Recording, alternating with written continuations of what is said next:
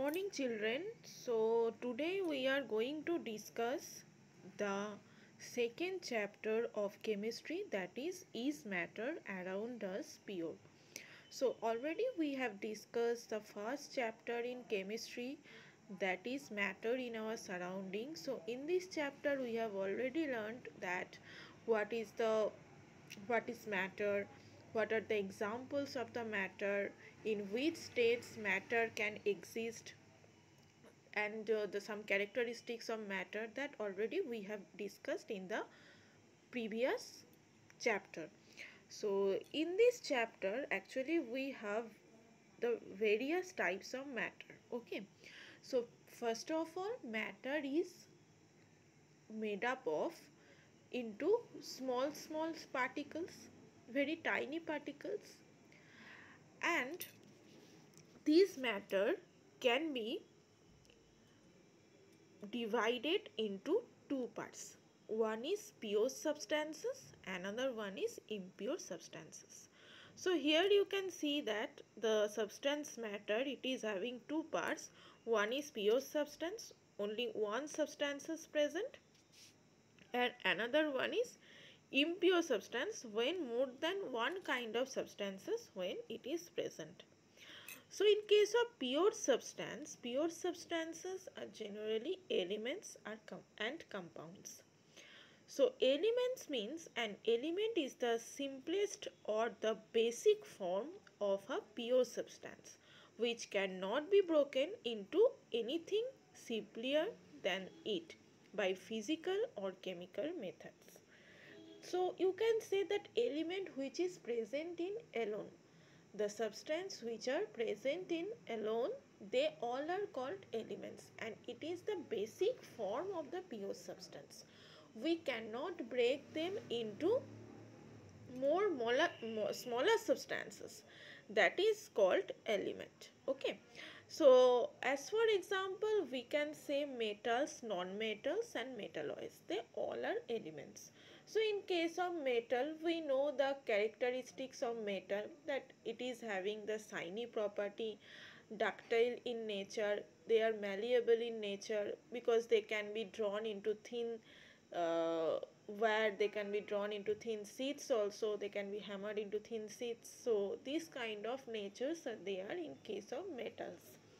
So as for example we can say various type of metals are there that iron, copper, aluminium, zinc, sodium, potassium, they all are called metal. Okay, but there are one uh, two exceptional thing it is there. This is another part because I just told you that metal it is uh, shiny in nature, it is lustrous and also you can say that metal generally exists in solid state at the room temperature. It is hard in nature but sometimes it is shown that in case of mercury mercury is also a metal but still it exists in liquid state in room temperature. We use mercury in thermometer that is liquid form of the metal right?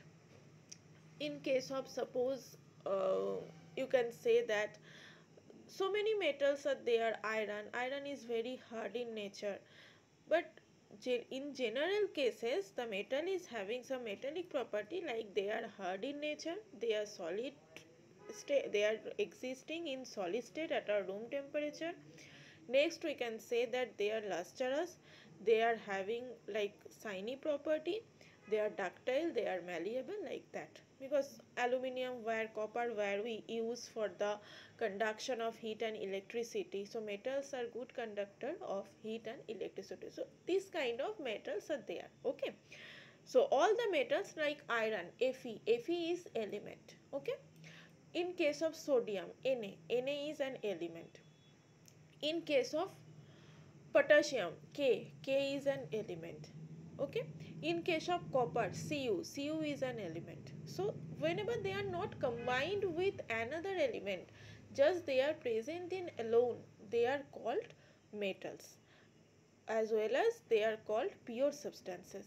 And pure substances they also non-metals are there in case of carbon in case of oxygen in case of nitrogen. So that means non-metals who are the non-metals the substances which can exist at our room temperature in the gaseous state mainly. And they are very soft in nature. They do not have any metallic lustrous. They do not have any uh, that kind of ductile malleability property. So these kind of elements are called non-metals. Carbon hydrogen nitrogen oxygen they all are non-metals. Because they can exist only in the generally in the gaseous form i told you so many examples are there according to non-metallic property of the non-metals but still we have some exception like carbon it is it can be formed in the solid state in case of suppose diamond. Diamond is present in solid state and diamond is is a made up of by carbon atom so as carbon is non-metal, so diamond should be non-metal, but it is very much hard in nature like metal. Okay, I told you that in case of metal, metals are good conductor of heat and electricity, but sometimes uh, it is uh, shown that in case of non-metals like graphite, it is also a good conductor of electricity and diamond is a good conductor of heat. So, so many exceptional cases are there but they having some property like non-metal okay? So they are also called the pure substances.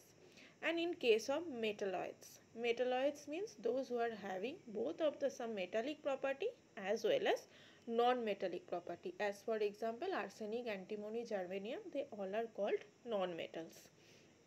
Now i am coming to compound.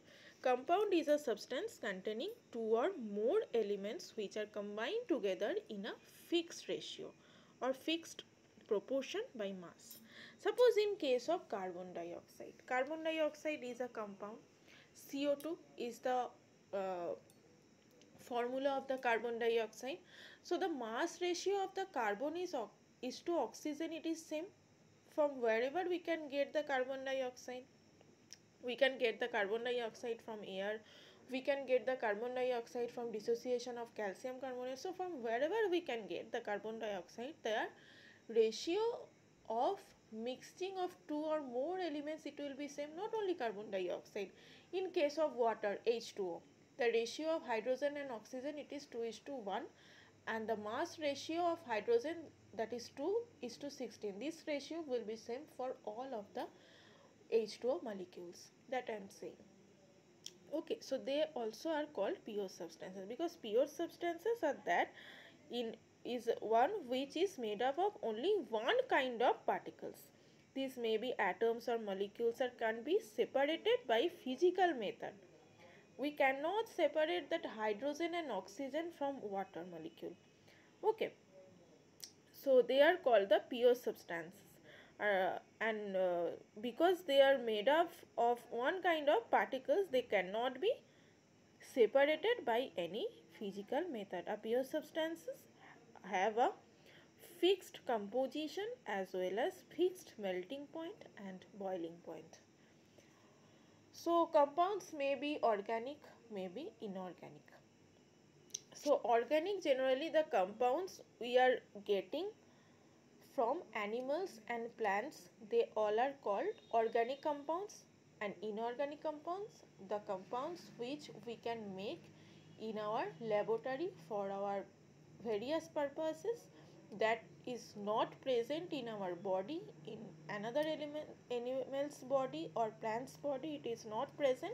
That kind of compounds are called inorganic compounds okay so two types of compounds generally we can see for compounds organic and inorganic.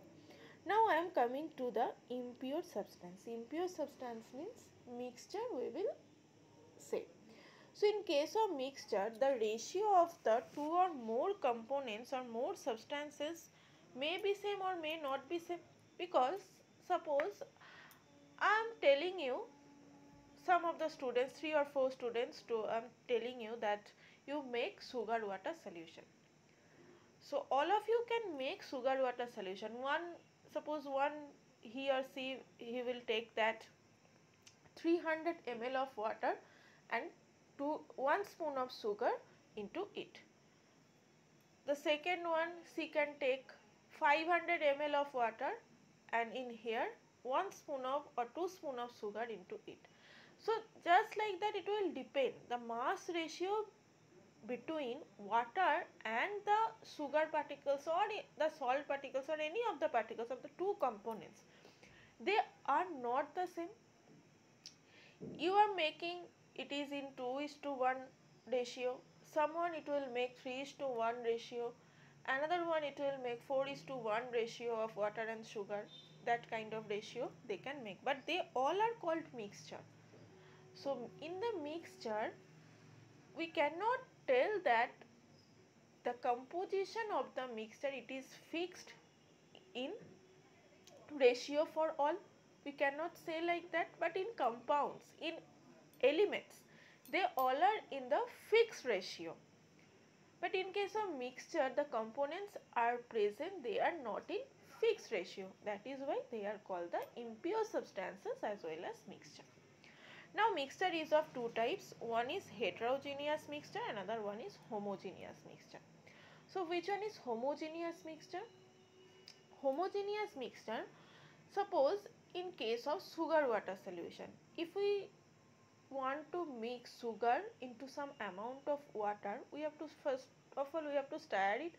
After some time we cannot see the sugar particles in the solution for what reason? Because in first chapter we have discussed the characteristics of matter and in there what we have seen?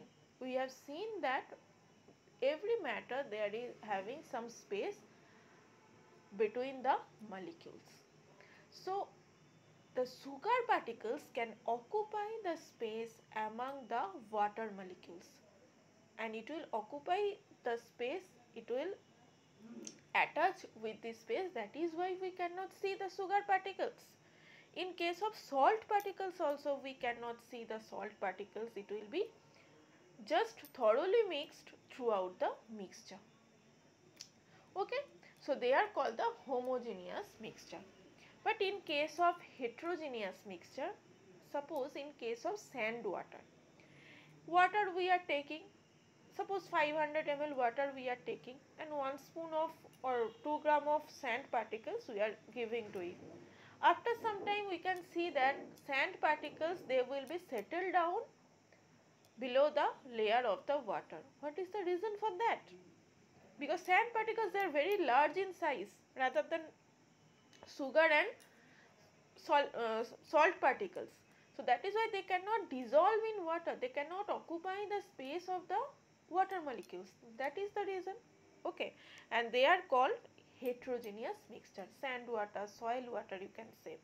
And heterogeneous mixture is also it is of two type. One is suspension. Just now I have given the example sand water soil water this kind of uh, solution. They are called heterogeneous mixture. And colloidal mixture is another part of the heterogeneous mixture. We will see we will read in details in this chapter the different kind of mixture different kind of substances but uh, just now I am just introducing this part that uh, colloidal solution like blood like face cream, like sunscreen, like uh, you can say milk, butter, they all are called colloidal mixture because we cannot say it, it is a true solution or as well as we cannot say that it is a heterogeneous solution. True solution means homogeneous solution.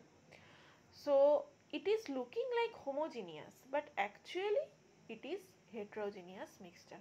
So, we will see the characteristics of uh, colloidal particles that we can understand. So, these are there that uh, the types of matter, elements, compounds and mixture. In mixture, two types of mixture are generally there homogeneous and heterogeneous. This is the type of matter. So, I think all of you can understand up to that. So, uh, in our next class, we will study in details pure substance, impure substances and the types of matter. Okay. So, thank you.